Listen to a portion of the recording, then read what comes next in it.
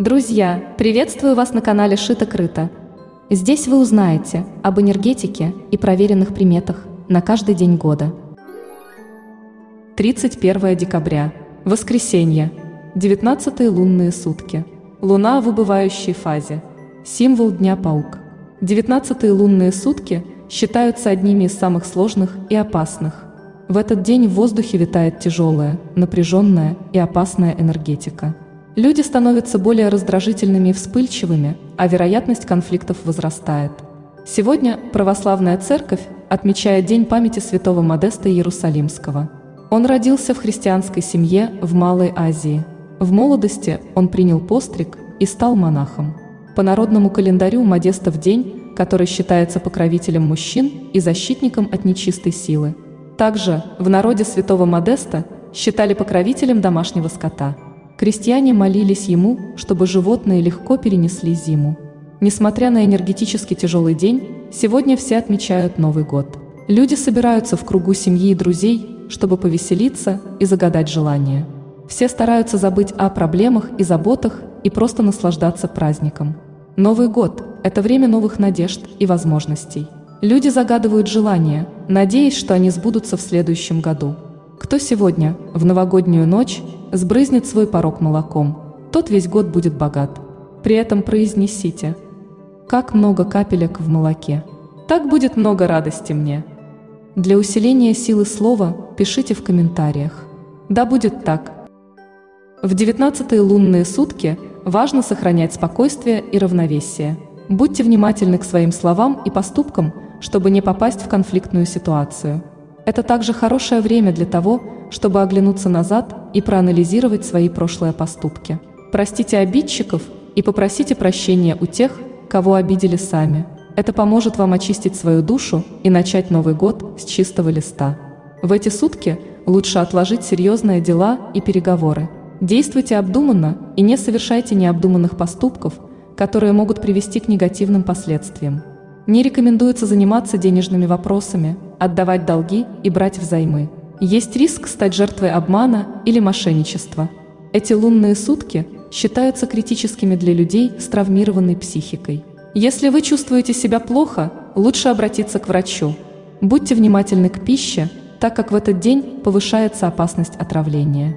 Текущие сутки считаются благоприятными для стрижки волос, особенно для слабых и тонких волос. Стрижка в этот день поможет им стать более густыми и сильными. Кроме того, она может подарить вам знакомство и дружбу с хорошим человеком. Сегодня лучше избегать конфликтов и выяснений отношений. Будьте осторожны в общении с другими людьми, чтобы не попасть под их влияние. Неблагоприятный день как для заключения брака, так и для его расторжения. В этот день рекомендуется возвращать долги и прощать тех, на кого вы сердиты. Это поможет вам очистить свою карму и избежать неприятностей. В этот день высок риск обмана и мошенничества. Люди, родившиеся в этот лунный день, наделены талантом, но нередко обречены на одиночество. Их задача – нести в мир свет и добро. Это день, когда лучше отказаться от шопинга. Велика вероятность совершить необдуманные покупки, которые не принесут вам удовольствия. Вместо этого посвятите освободившееся время составлению плана на будущие приобретения. Это поможет вам избежать ненужных трат и потратить свои средства с пользой. Девятнадцатые лунные сутки считаются одними из самых опасных и сложных. В этот день энергетика мира становится очень тяжелой и неблагоприятной для людей. В этот день можно провести ритуал, чтобы продлить себе жизнь или сократить жизнь другому. Проводят обряды на закрытие дорог, жизненных и обычных. Например, можно провести обряд – чтобы закрыть путь человеку к желаемому или чтобы закрыть ему доступ к какой-либо информации.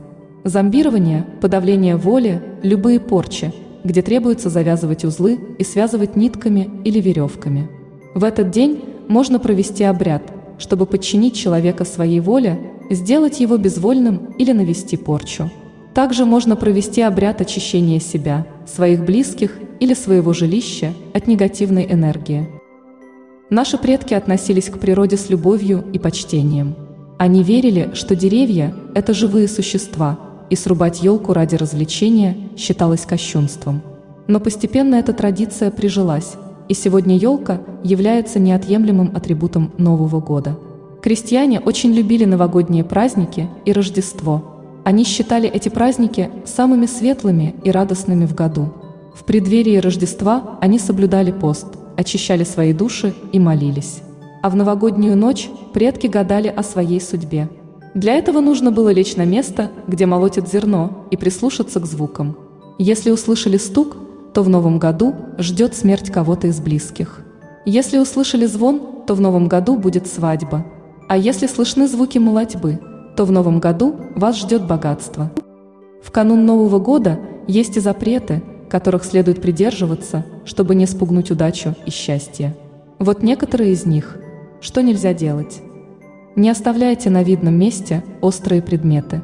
Острые предметы в народе считаются символом разрушения. Поэтому, если вы оставите их на видном месте, нечисть может воспользоваться ими, чтобы испортить ваше счастье. Например, она может порезать ваше счастье, уют и достаток. Не оставляйте открытой посуду с напитками. Злые духи любят прятаться в напитках, чтобы испортить вам здоровье. Поэтому в Модестов день все емкости с напитками обязательно закрывайте крышками или блюдцами. Не зашивайте одежду. Если вы зашьете одежду в Модестов день, то весь следующий год будете исправлять свои ошибки. Не подстригайте волосы. Если вы подстрижете волосы в Модестов день, то в следующем году они станут редкими и ломкими, а может быть, даже выпадут. Не обедайте в одиночестве. Святой Модест может обидеться на вас – и перестать помогать вам в мужских делах. Поэтому в этот день обязательно накройте стол и позовите гостей.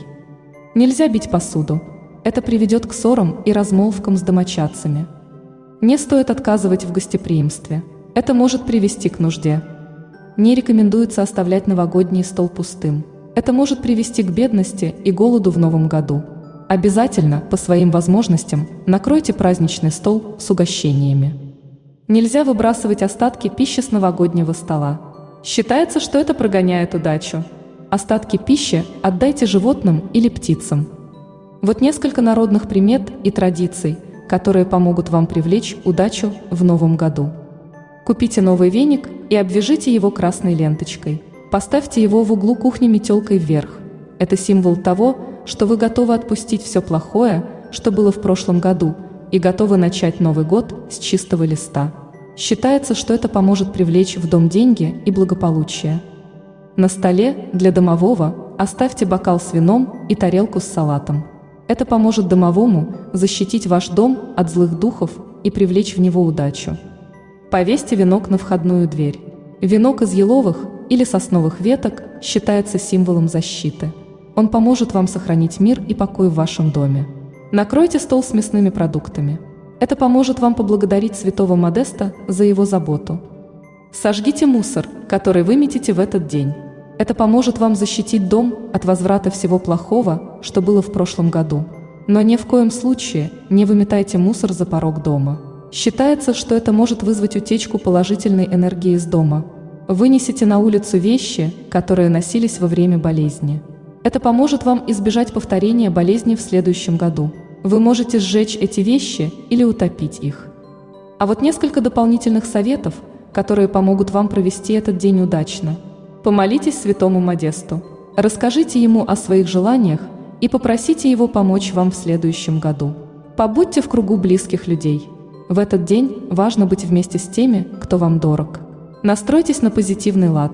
Верьте в то, что следующий год будет для вас счастливым и успешным. Новогодняя ночь – время чудес и волшебства. Многие люди верят, что в эту ночь можно узнать будущее. Если вас волнует какой-то вопрос, то перед сном задайте его себе или кому-то из близких. Затем ложитесь спать и ждите ответа. Если вам приснились умершие родственники, то обязательно запомните, что они делали и говорили в вашем сне. Их слова могут быть пророческими. Негативное сновидение говорит о том, что вы не готовы к активным действиям. Поэтому, если вы запланировали какое-то важное дело, то лучше повременить с ним. Желательно ближайшие несколько дней посвятить отдыху и восстановлению сил. Вот несколько советов, которые помогут вам получить точный ответ на свой вопрос в новогоднюю ночь. Задавайте вопрос вслух или про себя, но четко и конкретно. Постарайтесь расслабиться перед сном и освободить свой разум от лишних мыслей. Если вам приснится несколько снов, то обратите внимание на тот, который приснился вам первым. 31 декабря – это последний день Старого года. Этот день всегда был особенным для наших предков. Они верили, что в этот день можно узнать, какой будет погода в будущем году. Поэтому на 31 декабря было принято обращать внимание на различные природные явления. Большие хлопья снега к умеренному морозу или оттепели. Мороз в новогоднюю ночь к веселым святкам. Если ворон, сидя на дереве, кричит сначала одним голосом, а потом другим, то следует ожидать скорого изменения погоды. Ветер западного или юго-западного направления предвещает продолжительную оттепель.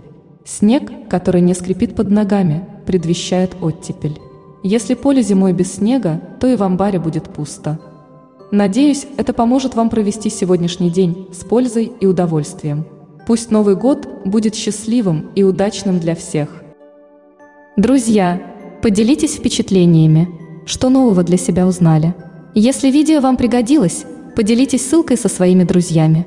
Ваша поддержка очень важна для меня. Жду вас завтра на канале Шито-Крыто.